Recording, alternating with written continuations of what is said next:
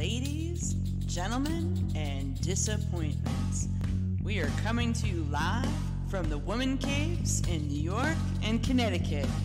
My name is Leslie, And my name is Melissa. and we are Verbally Disaster. This podcast is copyrighted through the U.S. Copyright Office as well as the Writers Guild of America.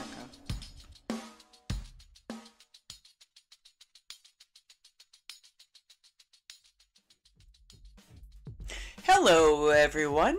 My name is Leslie M. Jasper, and I am the host of the Verbally Disastrous podcast that can be found on over 20 podcast platforms, including YouTube. For this episode, I decided to connect with my buddy, Brian Reyes, who is a traveling journeyman electrician out in California. Every once in a while, Brian and I will catch up and see what's going on. So, we recently connected and he shared with me some funny stories. So, I invited him to come on as a podcast guest and he agreed. So, this is part A on my discussion with Brian about his adventures as a guy who is traveling throughout the 50 states as a union journeyman electrician. Now, this podcast episode has been divided into three sections. You have part A, part B, and part C. This is part A and the beginning of the discussion. So head back in to the podcast platform of your choice and look for part A, part B, and part C. I consider Brian to be a really good friend as well as a great coworker to have the pleasure of working with and a really fun person to talk to socially. So I am looking forward to this discussion. Now let's take a listen to the beginning of the discussion. Let's check it out. Let's start it from the beginning because I was actually doing a testes one two one two. Okay. Welcome, Brian. How are you? Okay. Don't add anything, okay? what am I supposed to add? it makes me sound better when you add it. but if it but if it makes you sound worse, uh, leave it out, right? Leave it out. That's subjective, right? I'm on the speakerphone up here in the hills. We don't get much service, so I, I had to go to a good location. so you're in the hills? You live in the hills, or is Well, it the I'm- valley? You know what I'm No. saying, like a valley girl. Yeah, kind of. You know, I'm, I'm in a, a place called Coors Gold, uh, which is like, um, I'd say about 35, 40 minutes away from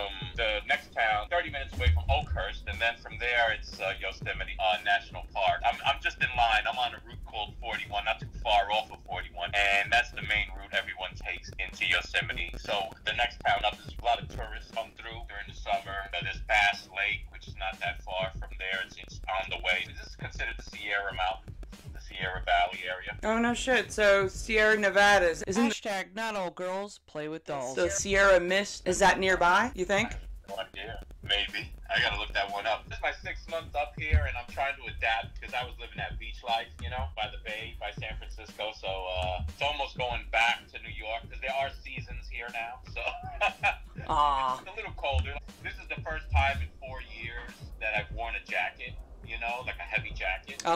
You. What are we into? We're into December. And, Yeah. and you're just rocking a jacket now? just rocking a jacket and be honest with you by maybe noontime i won't need it just a hoodie is good enough you know when the sun is low it's a little cool it's cold Sounds good. Shit. not they're not bad it's still good everything's getting green but the summertime's brutal you're talking about maybe 110 degrees everything is like dried up yellow no rain it's rough Wow. yeah, put it this way: to go food shopping, you really gotta prepare. Okay, I'm gonna go food shopping and buy meat. Let's say the closest store is about 30, 45 minutes away. So you gotta factor in getting home in time. Forget about buying ice cream, unless you got a refrigerator or a cooler in the car. You gotta buy some. You gotta go to like a little local store. Just bank on it. If you're gonna go food shopping, you go food shopping and you come home real quick. Get it out of the way. yeah, or you just throw everything in your front and nothing in the trunk, everything in the front, and then crank the AC to like max, and hope to God you don't hit traffic. Wow, I'm trying to envision because I know I went to Port Hueneme, California. This was back in the 90s when I went for A school. I remember I went there from September to December and we were body surfing in the water in like December, and I thought that was pretty damn cool. Because anywhere else, you'd be like, oh no, we're not doing that unless you're a polar bear. Right. I didn't get to, to enjoy the summertime. I got to go to Cuba instead. Oh, okay. that was Okay. Swampville. I'll give you an example. My, my kid, in, in, in my van, I have a van now, Ford Transit. So I have the, the car seat in the back.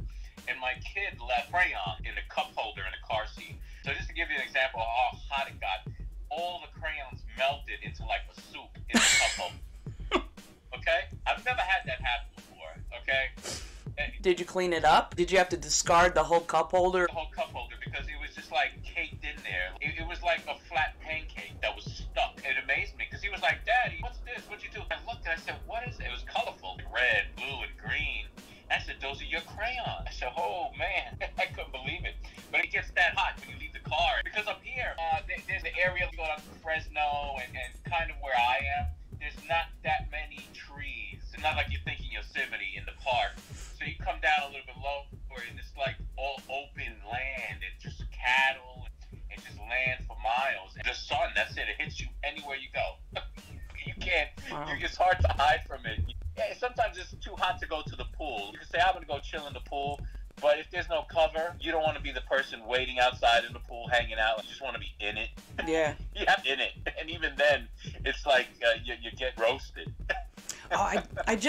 remembered I did do a summertime little road trip, and that was 2013. I stayed for my OSHA 510. Did a no, that was my first one, the OSHA 500. I drove from LA, not LA, LA, but I guess like south of it, Carson, like in that area. The temperature in the morning when I checked out of the hotel was like say 89 degrees, and I went on the road to get to Vegas. I was watching the temperature gauge. I thought my temperature gauge in the car was broken. It, it went up to 100 and 125 degrees. It jumped like once I started hitting the mountains. I don't know if you know like the main thoroughfare that gets you from LA to Vegas. No, I don't know that highway. I know what you're talking about. And the weather, it sounds pretty much right. You're correct. Bakersfield, something like that. Oh yeah, that gets hot down there. That's not too far. That's about an hour south of me. Okay, so that's what I was trying to use that as a reference to see it was held. I asked the guy at the gas station, as soon as I go open the door, all the air felt like it went whoosh, disappeared.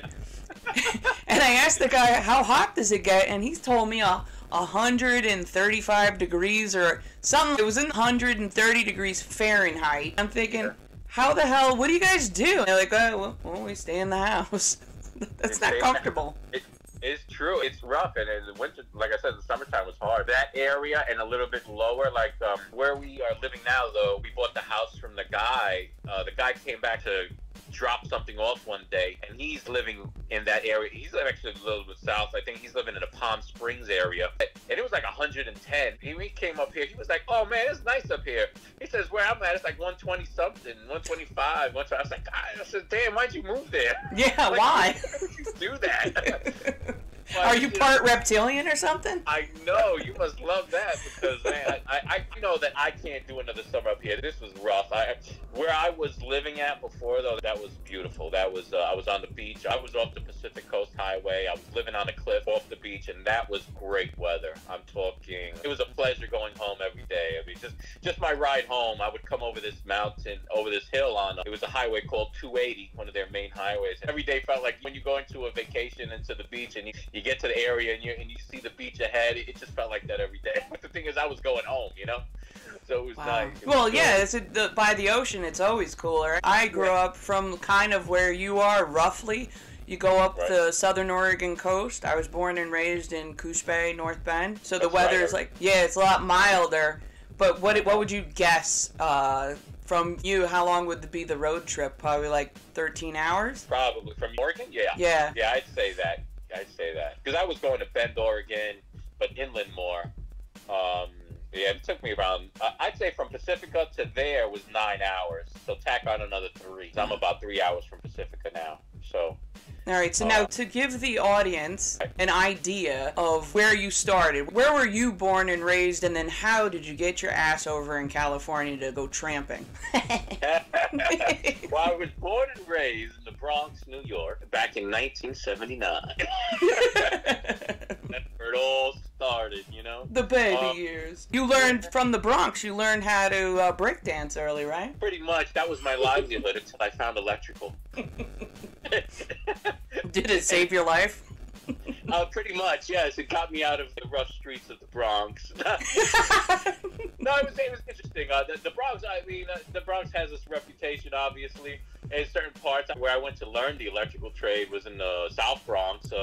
That was a rough area. Um, Third Avenue, not too far, is Alfred E. Smith High School. Um, some of your friends came from there, Mike Doyley, Yep. you know, Dennis Bowman, all those guys. Um, and I went to school with them. But yeah, I learned the trade there. and I got involved with the SCA program, which is in Manhattan, Queens at the time, I think. What is the SCA program? The School Construction Authority. I think Okay. you're familiar. Okay. I just wanted to make sure because there's people who are listening and they don't know what it Oh. means. That's why. Yeah, Construction Authority. So what it was was a program, and at the time it was giving the inner city vocational co- kids uh, opportunity to get into the unions. Um, and this was back in the 90s, uh, probably like 95, 96, maybe 97. I joined them. We went, and it was all trades because they had. Uh, in my high school, there was electricians, uh, um, carpenters, and engineers. We all got a chance to go to this, whoever chose to, and we got to go and work together. And that was the whole thing. It was like putting us together, teamwork. We had trips on boats, and we had to figure out how to work together to work a sailboat uh, by the South Street Seaport. And we stayed overnight on water. We learned how to cook together. So it was just all like teamwork. Sounds very good. Like that sounds like a better experience than uh, I had as a kid. Yeah, it was really nice. I mean, we'd go to Manhattan. They'd give us uh, like tasks to do, like find certain things in, in Manhattan randomly, and just we had to go find them, search for them. So it was it was cool, and we got to know each other as a school. You know, just from all the different trades. Actually, you get to sign what you want as far as what trades you want to go to. So I chose electrical. Operating engineer and plumbing, I think. You get to choose three. The delegates from each local have involvement in this, so they get to see and they'll know who's there and whoever gives you a call. So when I graduated, um, about six months later, I got a call from a local three. Actually, how it went down was a friend of mine, uh, one of the teachers in high school, um, knew somebody from local three north and said, "Hey, anybody wants to sign uh, and put your uh, job application in for local three north." So whoever did it did it. You Very know, good. they- a lot of didn't want to because at the time it was like 35 or 40 bucks. So my father was like, "You better do it." He gave me the money, and Yep. I signed. And the guys didn't. Then six months later, Andy White calls me and gets me in. Very nice. A, a lot of the other guys I was in high school with, they waited about two years to get in to the city. Wow. So that worked out. So I lucked out. I was uh, two years ahead of everybody. I was like 18 years old and on 19 already in the program. So it was good. It was nice, and that's how I started. Oh, uh, my first shop was Stan Electric. oh the, my first shop was Stan Electric too. Get out, yeah. Yeah, it was. We were on uh, the South Broadway building. Oh, I, that's where I went. Yeah, yeah. I worked there for about a year. I was in there with a John. Yes. Wait, how the Yeah. hell we miss Oh, each no, other I'm on sorry, that? John. I'm wrong. That was a different one. I was. I know him. Yeah, I know him. I don't remember who exactly was there. Dave was there. There was a couple of good guys. Carmine. I worked with I the forget. Billy. Yes. He was there. A guy named Danny. I forget his last name. Uh, but yeah, a lot of guys. But in any case, that was my first shop, Stan Electric. They were in Pleasantville, New York, right? I never went to the shop, but I remember the general foreman was a, a big, tall guy. He had like the handlebar mustache, white hair. Awesome Oh, guy. Rick Patrick. Yes. Awesome person. Yes. Yes, yes. That was such a long time ago. Yeah, I'm getting my stories crossed now. You, you realize how that's like over 20 some odd years ago. That's a scary thought. Yeah, it, it's weird because we started out. I joined the military when I was 17, and then got out and got in when I was 20. So I feel like it's the only thing I know. and you, you're even younger. I didn't realize you got in at 18. Very good. Yeah. I, I got in at 18, I think I was a mechanic by 24. Yes. It's like a good thing for people to get in younger. You know, my son Tom just turned MIJ, and Yes. he's actually working with Paulie and uh, Bob. So I'm gonna edit the people's last names so that way nobody uh, gets pissed that I name shouted him. He's over there and he's feeling like, oh, I don't know enough. I feel like there's so much, but I feel like we all went through that by the time we were fifth year, but we just had the tools to figure it out, right? Oh yeah, definitely, definitely, and and, and he- he'll start to see that he adapts because after a while you come to realize that you really get sent blind. You don't know where you're going. You're just going in blind to a majority of these jobs. Even if you're with the shop for a long time, you're not just going to do lights. You're not just going to do uh, motors. You, it could be anything. Yeah, you So- can encounter, what do they say, zero volts to lightning bolts? Yeah, yeah. You work with everything. I- I- The last place I was at in New York, I was uh, doing cameras, security cameras. I, not something that I had done, but not so involved like how I was then and at, at the time. So it was nice to learn that. So you always learn something new, and he'll adapt. He'll get used to it. It's just that the beginning fear that that, Oh, that yeah. it's over eventually. Up until this point in your career, what's the funniest story on the job that you can share? Didn't we go in around the same time? I started December 1995 in the union. I started in '98, I believe. Okay, so it, in your over 20 year career, Uh-huh. what would be your funniest job site story that you can share? story, the funniest job site story I could share. I would say, I think the funniest we had, well, the funnest job I had was at the racetrack with you guys. You think so? Awesome.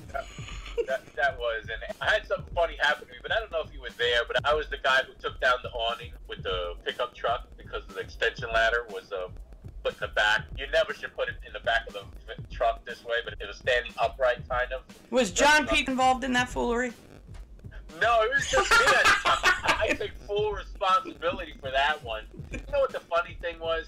I, I was new there, and me and Mike came on. Doyley, Yeah. right?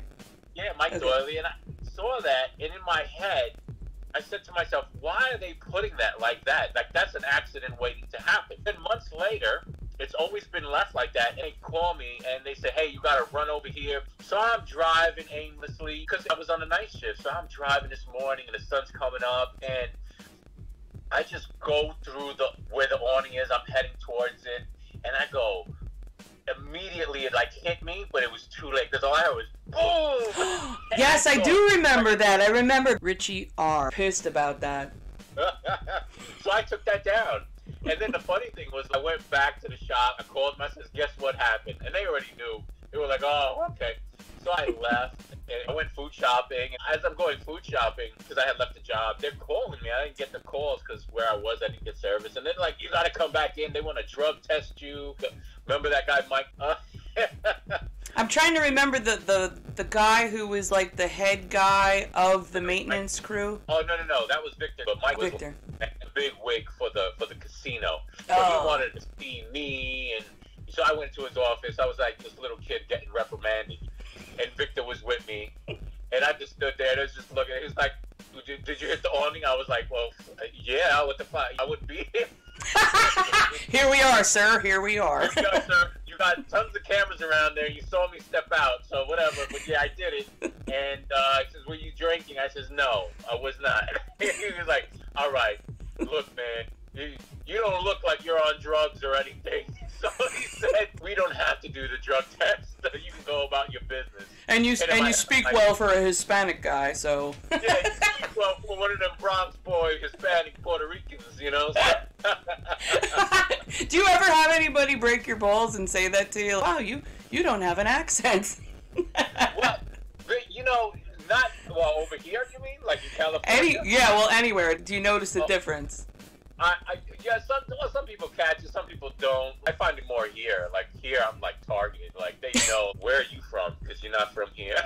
My mama. yeah, yeah. You're not from here, buddy. I haven't had that too much, I guess. the story that you shared about the extension ladder over the top, wouldn't that be the most embarrassing story or you find that the funniest? I find that absolutely hilarious. I thought it was pretty funny for some reason. I guess for me, I said to myself that that was right, I should have corrected it probably. But I, you're new there, so I was like, I don't want to tell these guys anything. And and then you end up looking like the fool. Right, and I'm the one, but it was just so funny how it happened because if you were with me at that moment, I would have probably looked at you with that face of horror as it was going to happen, like the second before. Like I just realized, oh my god, I'm gonna hit something. Your life flashes before your eyes, like, oh my god, this, Yeah. this cush job is gone.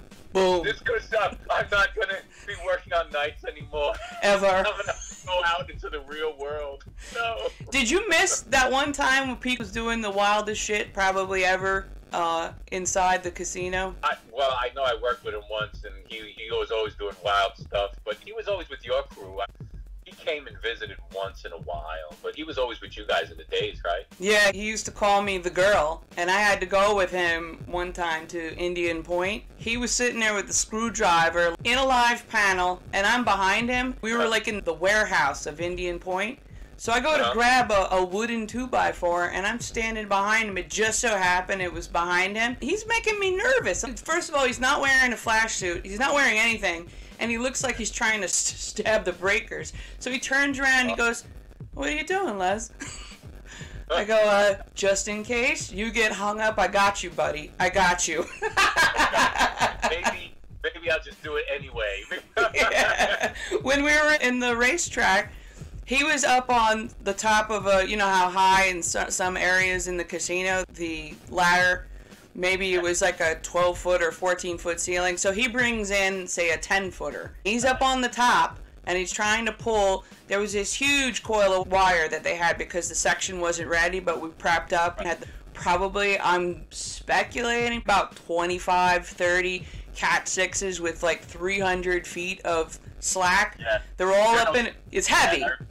Yeah. yeah. He was up in there, up on the very top, and he's Uh-huh. trying to go on the tippy toes. We're all working nearby because the area, the section that we were in, was shut down. There was Right. probably 20 fire alarm cables that were suspended up in the ceiling, and they were riding probably around crotch length or whatever. Right. And it was a live casino. Everybody's in there. It's past nine o'clock when they have it open. And somehow he lost his balance and the ladder, it was shaking from side to side. Then it, it went on its side. So he's up there trying to hold himself up there between a sprinkler pipe and those fire alarm. He's doing this, whoa, you know, like this whole and the ladder goes flying to the side. So me, Silvio, a couple other guys, we scrambled like a NASCAR pit crew to grab the ladder, put it back up there to get him up there. Richie, I, I thought he was gonna deliver a baby. he told him, he told him as soon as he caught his footing, because it literally looked like he was like a scrambling on the uneven bars in an Olympic match or something like that. He was like, Whoa! Right, right. when he gets down, wrong. yes, he- when he gets down, Richie goes, "Get your tools and get the fuck out of here." Yeah, he was a character. he was so dangerous. He used to stand on top of slot machines, almost fell. I can't tell you how many times you feel like I'm gonna witness a, a, a death here. Right, right. Yeah, no, I know he was like that, man. I tell you, that was an interesting guy right there. oh, Yeah, yeah, we had some fun times over there. That was a nice job. That was a very uh, relaxing place. yeah, we had the combination of everybody was good people, and then they would like break chops. But then you came in uh, and we moved those slot machines like a bunch of gangbusters. The guy that was working the money train, he, Yeah. he comes over to us one time. Obviously, they're all wearing those jumpsuits with no pockets, so nobody would steal that that money that they take out every night. He comes over to us and he goes, "Who are you guys?" So we explained we're, you know, union electricians. He's like, no fucking way. Uh. he goes, I thought you were a bunch of fucking rednecks from upstate. He goes, you come in here like a bunch of gangbusters and break all these machines down, and none of them are alike. He's looking at me. He's like, you're just as fucking savage as the rest of them. I was like, yeah, that's right. I tell you, I in fact that was a good time. You know, the only other job I could say I had that was even way more lax than that one for me was the. Uh, I worked at the DEP at one time. You remember that? Yeah. I worked at the, in uh, Harlem, and I was working in the sewage treatment plant at that time, and that was a very. I mean, you want to talk about relaxed? that was interesting. That job. Well, maintenance gigs are, are always more relaxed now. Yeah, yeah, definitely, definitely. Uh, I, I do like them. They're nice, good for retirement age. But I think if you're young and just getting in, that's not the place you. you need to get out. Yeah, you're gonna need to learn some shit. Would you say that the bridge debacle was considered your scariest job story, or do you got a different one to share? Um, I'd say that was the scariest. I don't know if I've told you, but when I got hired on there, we were the crew who um, started doing the uh, work on the bottom. So we were running like a lot of the pipe work, and it was six inch rigid OCal, Oh, and we had to uh, pick our. It was a massive platform. If you could just maybe envision a 50 foot by 50 foot square, if, if I could say it, maybe even bigger. Uh, actually, probably bigger than that, maybe 80 by 80. It was a big platform. If you can envision like a big stage, handrails around it. It was an elevator. It was like a lift. So there was like six motors on each, uh, three and three on each side, I believe,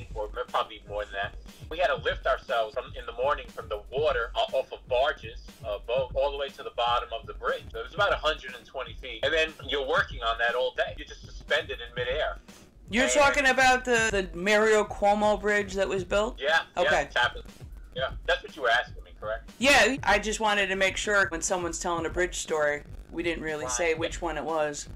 Yeah. Oh, so they did name it the Mario Cuomo. First of all, I, Um, when I left,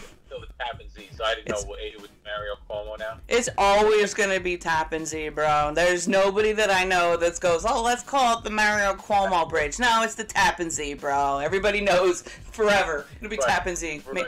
Yeah, that's what Gary said. The reason, the, the worst part of it was just getting up there, because um, initially every day, every morning, we were picking ourselves from the bottom and going all the way up top. I was one of the operators, and Dennis was an operator. When you're first starting, this is hard because you got to uh, start on time with the guy ahead with the other operator. Because if not, then you- you're, you're lifting so high that eventually you start getting unlevel. And then the, the motors start to jam. Mm. And sometimes you have to unjam them up while you're high, suspended in midair.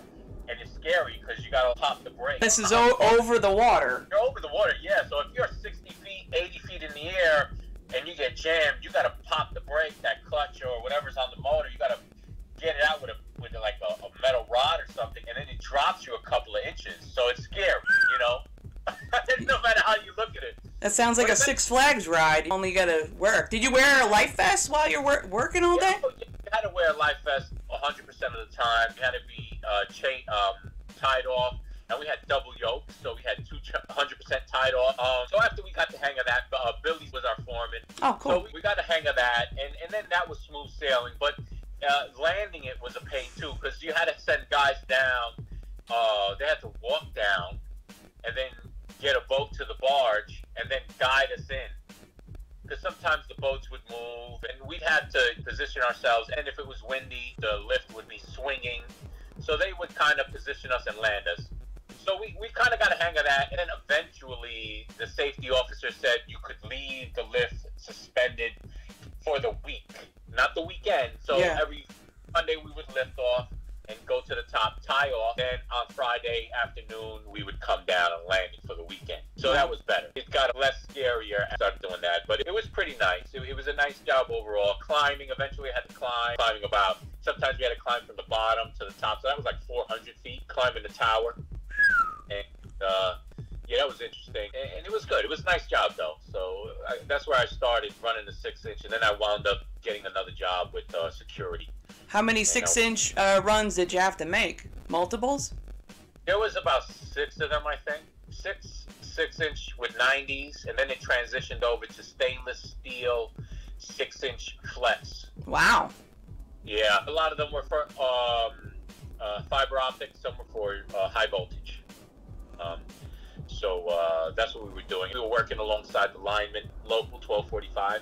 They had some of their guys there. Well, they were our guys, but they had two or three of their guys on either side uh, working. So it was interesting. It was a nice job. A lot of activity, a lot of walking, a lot of driving. I, I, lucked out. I was able to get a van, so I was able to drive a lot of the time. So it was cool. You mean drive from home to the job and then take the, the van? Oh no, I'll just drive on it. So when I got to the Okay. job site, take a van and drive onto the bridge. So that was nice. I didn't have to take boats after a while when the bridge was connected to land.